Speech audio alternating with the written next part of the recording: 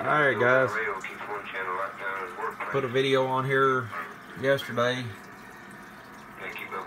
saying I was needing help with this. But I finally figured it out. Went to bed last night. Decided to give up on it for the night. Got up today and got on it and wasn't even five minutes had it going. So I don't know what it was, but I guess I was messing up because I was tired last night or something. I don't know.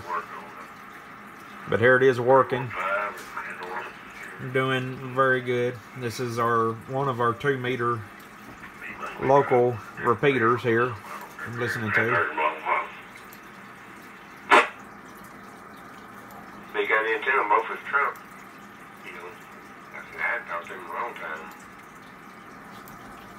So uh, last night I don't know what was going on where I couldn't get it, but like I said today it's work, working fine. Got everything set up the way I wanted it. I just got to get the HF part of it now. Uh, the one I've got doesn't cover the HF bands, but it has the other board that you can get for it to do HF bands, and that's what I'll be getting to hook up to it. That way I'll be able to listen to everything on here. But just wanted to do an update and let everybody know that it is fixed now, running good. I talked to him last, he was in the new house. All that snow we had, the ice, whatever. he- fell. Alright guys, well this is it. And do another update later on sometime, maybe when I get that HF board for it.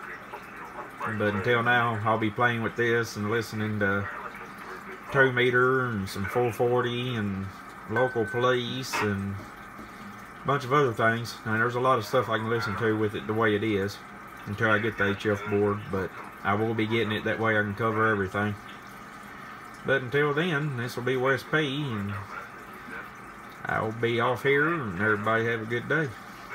Please subscribe to my channel, like my videos, share my videos, and leave those comments at the bottom.